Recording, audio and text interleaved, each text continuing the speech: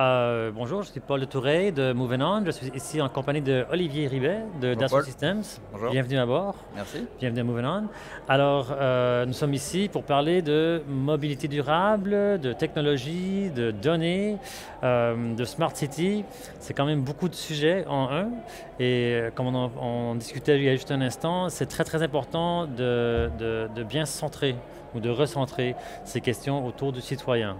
Euh, Est-ce que vous en parlez un, petit peu plus euh, de, ce sujet? Comment, vous voyez la chose? Oui, enfin, cet événement euh, Moving On est, un événement assez exceptionnel parce qu'on retrouve dans une unité de, de lieu physique des écosystèmes très, différents, des acteurs publics, privés qui, qui, parlent les uns des autres, mais généralement ne prennent pas le temps de parler ensemble. Voilà.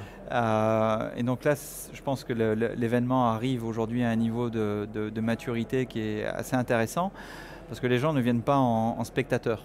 Euh, je pense qu'il y a de plus en plus de, de start-up, de grands groupes internationaux, européens, américains, asiatiques, qui, qui viennent ici pour se dire, euh, tiens, c'est peut-être maintenant qu'on va commencer à, à faire des choses et arrêter de parler d'IoT, de, de, big data, de machine learning, d'intelligence artificielle, etc.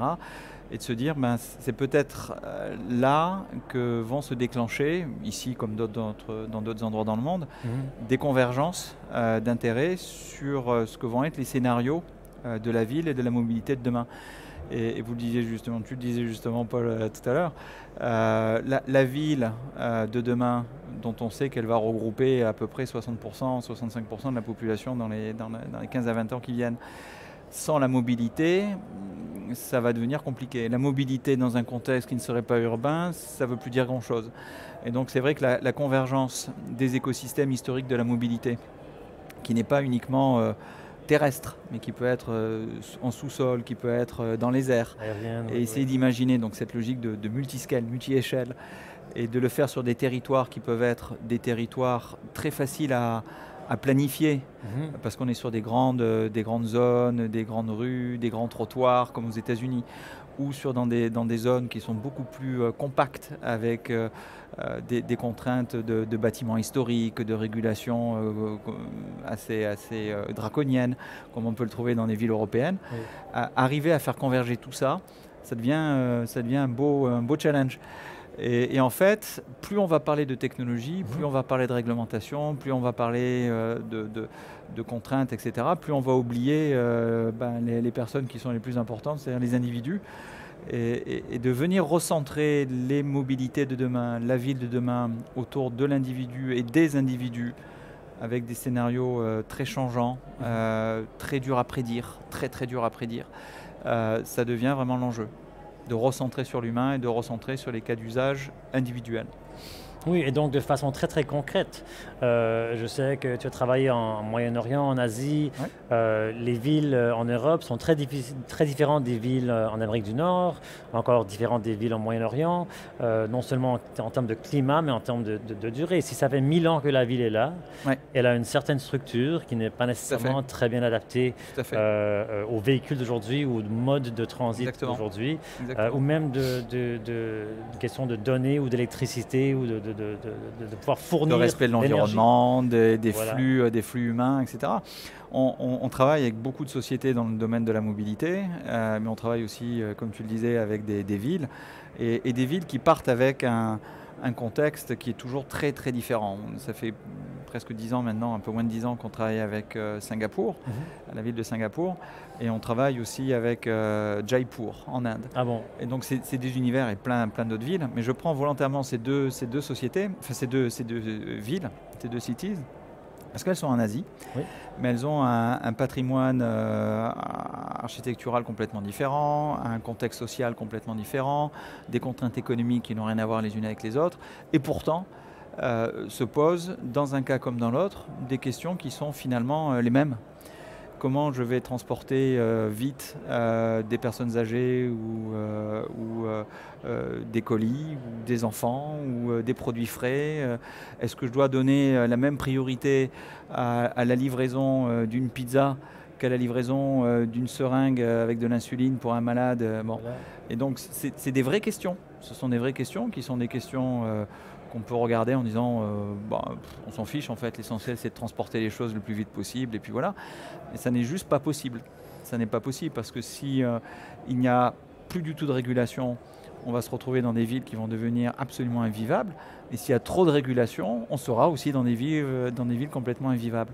Et donc la question, c'est de trouver le, bon dosage, la bonne équation mhm. en fonction d'un contexte. Et donc quand vous mettez euh, des produits euh, qui vont être, ou des objets qui vont être un, véhicule autonome, un drone, une trottinette, enfin peu importe quel que soit l'objet, ou une rame de, de tramway, dans un contexte qui va être différent, le contexte d'une rame de tramway dans cette ville euh, entre 14h et 18h sera différent euh, en semaine que pendant le week-end. La population à bord sera différente. Les usages vont être différents. Et donc arriver à imaginer tous ces scénarios et à les modéliser, euh, bah, c'est un peu notre métier. C'est de, fournir des logiciels, des environnements, une plateforme qui permet de modéliser et de simuler tous ces scénarios, ce qu'on a appelé des, expériences. Mmh. C'est des, produits dans des contextes différents, ça crée des expériences euh, différentes. Et donc la question, c'est à quel moment vous prenez la décision de dire ben, on va fabriquer comme ça, ou on va fabriquer euh, plutôt de cette manière, ou on va euh, faire un schéma d'urbanisme de, avec telle caractéristique. Donc faire tous ces choix-là, ça devient très difficile, mmh. parce que la masse d'informations, les contraintes avec lesquelles vous, opérez sont 100 euh, fois, 1000 fois, 10 000 fois supérieures à celles que vous aviez euh, il y a encore 10 ans. Parce qu'il y a 10 ans ou 15 ans, vous pouvez dire, ben voilà, on a décidé, c'est comme ça. Sauf que ces décisions, si elles ne prennent pas en compte des usages très individuels et très changeants, ben, ça sera des mauvaises décisions sur lesquelles il faudra revenir dans 3 ans, dans 5 ans et tout redémarrer. Oui. Ça, ça prend énormément de coûts euh, financiers et de coûts euh, sociaux et, humains. Donc ça, je pense que les villes, dont tout le monde s'accorde à dire qu'elles vont euh, jouer un rôle très important dans l'évolution de, la planète, ces villes-là se, trouvent aujourd'hui à gérer des contraintes beaucoup plus importantes qu'au préalable. Et, ça, c'est un, un, enjeu, un enjeu majeur d'arriver à réconcilier des contraintes économiques, mhm. politiques, sociales, environnementales, euh, légales, etc. Et, de rendre ça le plus simple possible, de le rendre le plus invisible possible. Parce que si les, les consommateurs, les citoyens se retrouvent à être euh, obligés d'interagir avec ces, ces, espèces de matrices euh, complexes, ça va devenir là aussi complètement invivable. Voilà, là on a... Donc c'est de, de, faire en sorte que la technologie vienne en accompagnement de décisions politiques, sociales, économiques, culturelles, euh, qui peuvent être prises aujourd'hui euh, grâce à des outils, des plateformes, des technologies qui aident à faire ces choix. Et puis en parlant d'aujourd'hui, on parle justement de, justement cette immense quantité de données mhm. qui est reliée au fonctionnement d'une ville, tous les aspects, et, évidemment la mobilité en fait part. Euh, j'ai regardé sur certains experts qui sont ici, qui parlent justement de pouvoir bientôt, si pas tout de suite, euh, changer d'un modèle où on a, par exemple, un système de transport en commun avec un horaire. Et l'horaire est fixe, il est même imprimé. Maintenant, il n'est plus tellement imprimé ces temps-ci, mm. c'est sur un, une appli, mais il y a un horaire. Et puis, l'horaire est basé sur un peu nos meilleures prédictions. de ce que va être l'achalandage sur telle et telle ligne à telle et telle heure. Et puis, euh, euh, comme tu dis, c'est une façon un peu vieux jeu de faire. Euh, avant, il y avait quelqu'un là qui comptait avec un compteur, puis il inscrivait, mm. puis c'était un instant dans mm. le temps, et sur ça, on se basait. Maintenant, en théorie, on est capable de capturer toute cette information de façon presque en temps réel ou, en temps ah très, très immédiat, euh, de façon journalière si on veut. Euh, est-ce que c'est possible maintenant, aujourd'hui, de pouvoir non seulement la capturer, mais de l'analyser et faire des bons choix? Ou est-ce que c'est quelque chose qu'il faudra encore attendre quelques années pour voir un peu comment je pense que là, un transport à la demande, si on, on, voit déjà, on voit déjà aujourd'hui hein, beaucoup de beaucoup d'entreprises et, certaines euh, sont, clientes de Dassault Systèmes utiliser des technologies que nous mettons à disposition pour faire des, des choix d'optimisation d'usines, de, de cycles de supply chain, etc., etc. Donc des technologies qui sont euh, prouvées dans les environnements industriels. Prendre ces technologies et les mettre dans des environnements euh, complètement différents, dans, dans des villes. Euh, de, voir une ville comme un gigantesque euh, système de production ou de voir une ville comme un gigantesque euh, système vivant. Et donc de le modéliser comme un système de systèmes qui, opèrent les uns avec les autres en recevant et en échangeant de l'information de manière quasi temps réelle. Et en fait, on, voit que à la fois sur les microprocesseurs qui sont dans les machines que, l'on a aujourd'hui, qui permettent d'avoir euh, des, puissances de traitement et de calcul absolument euh, faramineuses. Les gens ne se rendent plus compte de la puissance de calcul qui, est à notre disposition. Euh, et la possibilité de travailler sur des plateformes comme celle de Dassault Systèmes, la Trolley Experience Platform, qui permet d'avoir une, agrégation, une fusion et un partage d'informations en temps réel entre différents écosystèmes, mmh. on, rentre dans un univers qui est celui de la modélisation et de la simulation, où les gens peuvent visualiser en 3D quand vous mettez un, Coréen, un Chinois, un Allemand et un Norvégien ensemble dans une salle, ça prend généralement beaucoup de temps avant qu'ils arrivent à se comprendre. Voilà. Vous les mettez euh, dans un casque de réalité virtuelle ou dans une, dans une gigantesque salle euh, de, reconstruction en 3D et vous les mettez dans un référentiel 3D.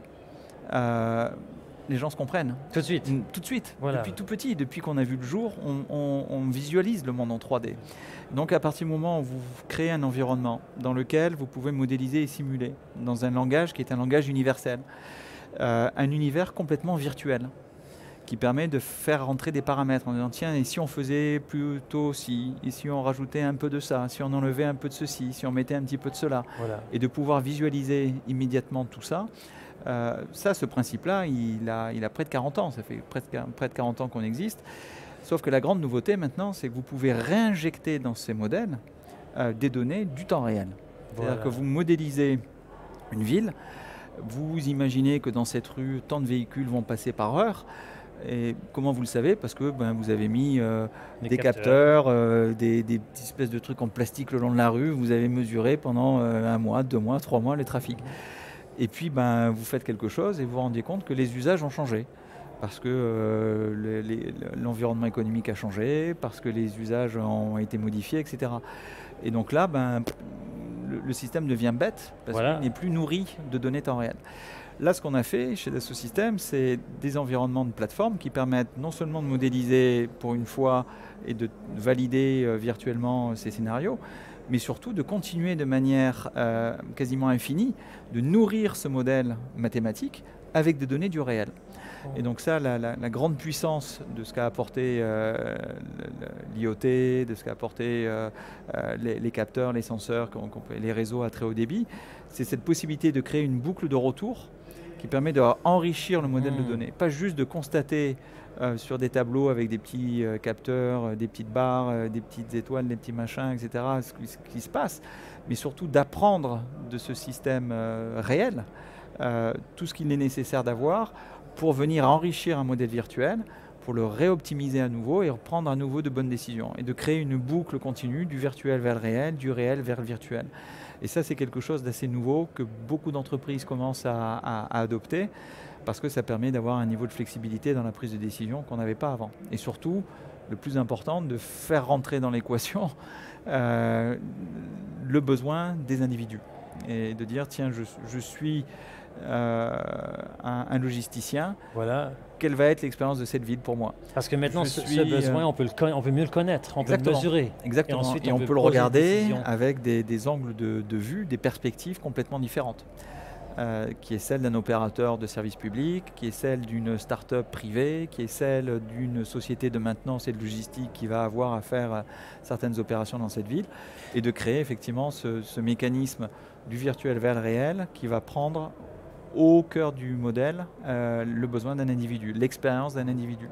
Est-ce qu'il y a une différence entre le secteur public et le secteur privé Donc, disons par exemple euh, les dirigeants d'une ville ou une entreprise client, euh, au niveau de leur réaction euh, à cette nouvelle réalité de pouvoir euh, être très souple, d'avoir une flexibilité dans la pensée très rapide. Est-ce qu'ils sont tous les deux prêts à engager avec ce monde rapide et évolutif ou est-ce qu'il y a quand même quelques contraintes? Oui, il y a, il y a de, manière générale, que ce soit le secteur public ou le secteur, euh, le secteur privé, est, à un niveau de, d'attente par rapport au système d'information et à, tout ce qui est mis à disposition aujourd'hui, d'avoir une décision quasi immédiate, de voir immédiatement les conséquences, de prendre des décisions quasiment en temps réel. Donc il y a vraiment une logique d'agilité. Euh, dans, le milieu informatique, on parle de DevOps, enfin bref.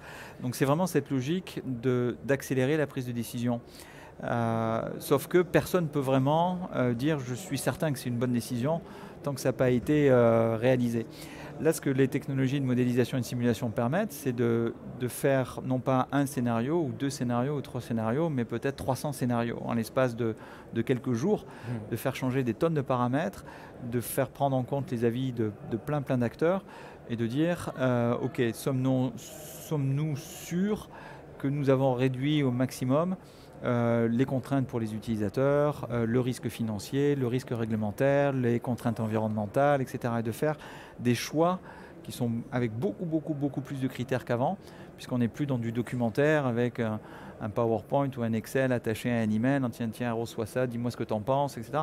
Là, on va, on va prendre en compte des avis, des besoins, des datas, des flux, des scénarios beaucoup, beaucoup plus complexes, beaucoup plus changeants en temps réel. Donc ça, c'est très, très riche. très, très riche, Oui.